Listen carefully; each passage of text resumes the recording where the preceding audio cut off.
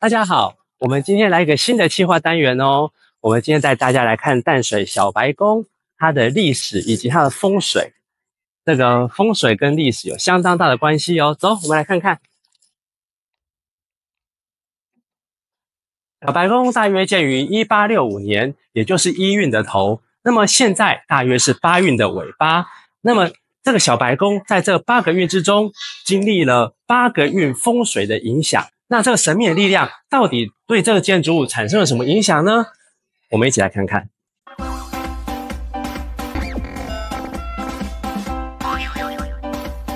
九运快到了，很多人会关心换了运会有什么变化呢？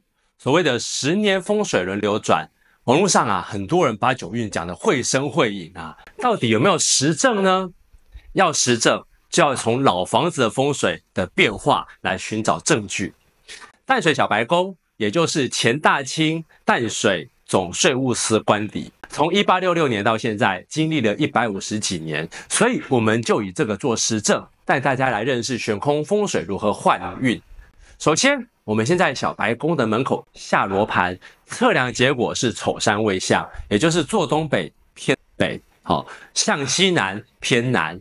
在悬空风水里面，一运就是一八六四年到一八八四年，所以我们得到一运丑山未向的悬空盘是这样。一运的时候呢，一二三三颗星哦是旺星，所以我们可以看到这两个一都在坐山的艮宫，这叫做双星到山。所以如果在房屋的后方有山有水，就会旺人丁。小白宫的后方呢，地势比较高，可以作为它的靠山。后面有广阔的草地，是风水面所称的水，所以后方有山有水，对于居住在这边的海关首长是很有利的。但是啊，前方的坤卦是四七，飞星赋里面说辰酉戌，归为不睦。意思就是说，四妻同宫，而且又失令的话，家里就会有女人不和的状况。因为四是训是长女，七是对是少女，所以四跟七两个金跟木的相克，就代表女人之间的争吵。当时英国海关的关长要千里迢迢的把家眷带来，可能也很不容易啦，所以可能也不会受到所谓的归为不睦的影响。但是这个住宅还是不利于财运的，因为一运的时候，一二三是旺星，四跟七都是衰弱星，而相手聚集这两颗衰星，肯定是不利于财运。不过啊，毕竟这是宿舍啦，哦，而不是办公的地方，所以只要住的人平安就好。所以后面两颗一又有山有水，好，对于人丁是不错的。而且啊，海关不是生意人啊，奉公守法。按照规矩行事是比较重要的。四是文昌星，七是破军星，代表魄力。海关首长能够有读书，而且能够有魄力的执行公务，才是最重要的。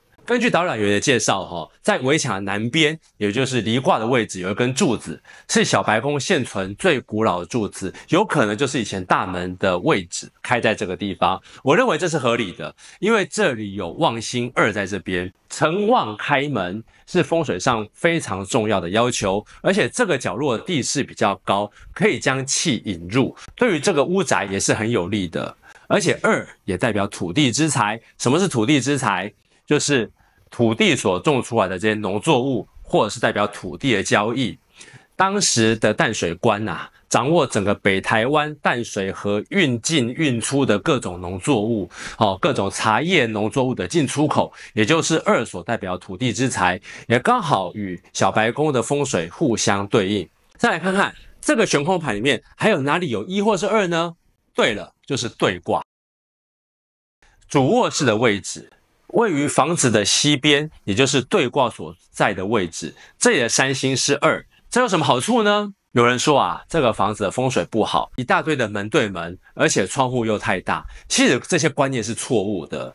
如果是好的方位，窗户大，它有助于纳气。譬如说像这个主卧房，也就是我所坐的那个位置，哈，就是对卦。这边是可以纳二这个当旺之星的气，所以会对于住在这个房间里面的有利。所以床摆在后面的位置，刚好可以吸收对挂窗户纳进来的旺气，有利于住在这个房间的人的健康哦。淡水是一个五虎冈地形，好，就很像五根手指头从大屯山深入海里面。小白宫就位于第四冈的位置，也就是我手指向地图的这个位置。这里在山冈上，可以远眺淡水河口，在古代防御河口、征收关税。有很大价值。前面面对观音山与淡水河，除了景色优美之外，如果向手有望星，这个巨大的河跟海就是风水中最佳的水局。而这个水局什么时候可以发挥作用呢？我们就再来看看悬空盘上向手四这颗星。好，四在二三四运的时候是旺星哦。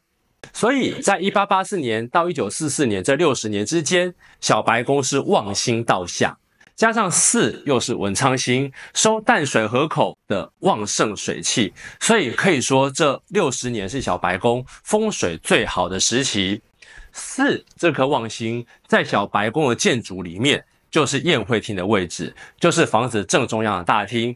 在悬空盘上是坤卦四七的位置，当令的时候啊，会有人气聚集、财气聚集的状况。飞星赋里面说破尽文贪。秀丽乃温柔之本，破就是七破军心。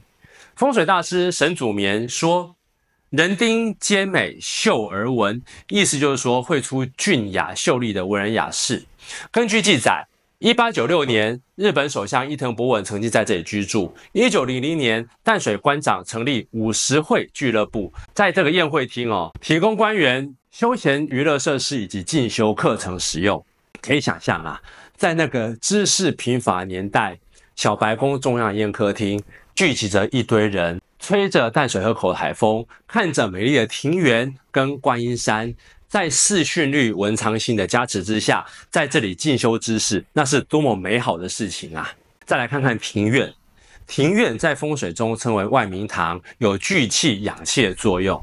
小白宫拥有这么美丽的外明堂，花木扶疏，可以让旺气在这里聚集。加上有些年代久远的大树，在风水上，这些年代久远的大树，它是具有遮形避气的作用，可以阻挡大风，又能通气，可以让冬天比较寒冷的海风。不要吹进屋子里面，但是它又能够让好的气可以进来，所以屋内可以收到四这个当旺之星很好的气。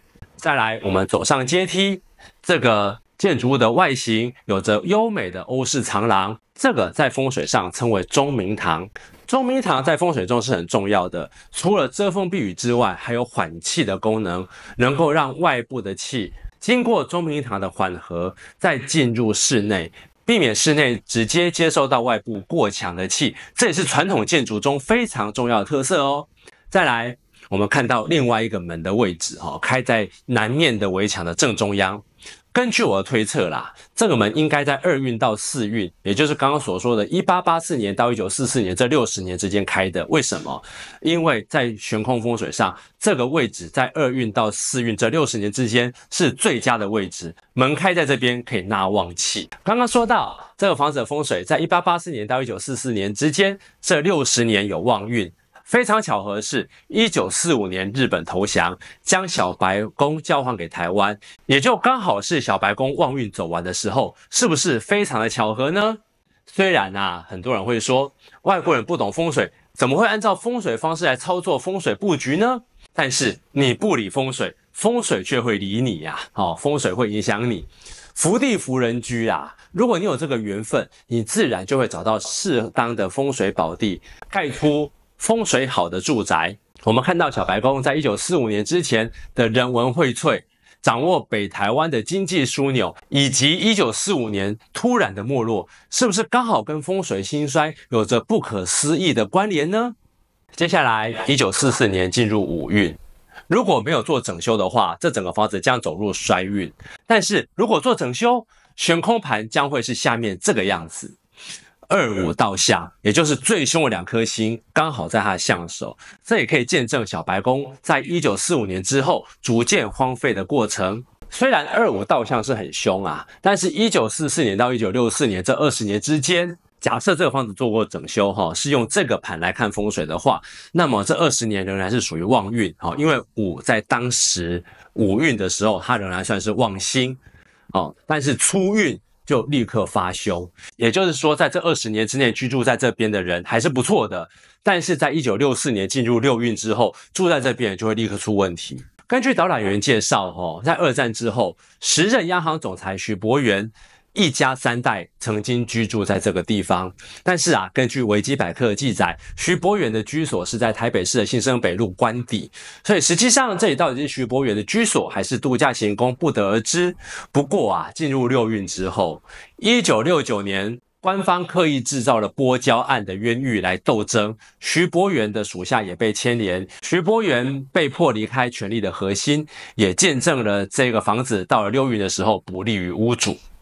后来，小白宫逐渐荒废，建筑物闲置，被附近淡江中学学生称为“化物夫屋”，也就是所谓“鬼屋”。一直到一九九六年抢救小白宫的行动，最终政府评定小白宫为三级古迹。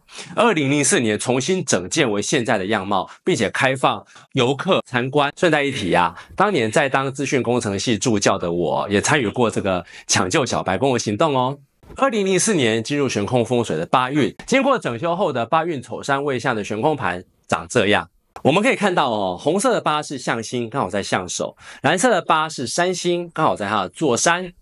所以呢，旺星八在坐山跟象首，这称为旺山旺相，是一个非常好的风水。所以即使八运过完哦，进入九运，八虽然已经不旺。但是八仍然是吉星，还是不错的。所以现在小白宫成为淡水的观光胜地，游客如织。好，在这里逛逛美丽的庭园，坐在草地上晒太阳，吹吹海风，回味一下淡水这个优美的历史，实在是人生的一大享受啊！身为淡水人的我，也很喜欢带朋友来这里参观哦。历史与风水，不知道是天作的巧合，还是有一个神秘的力量指引。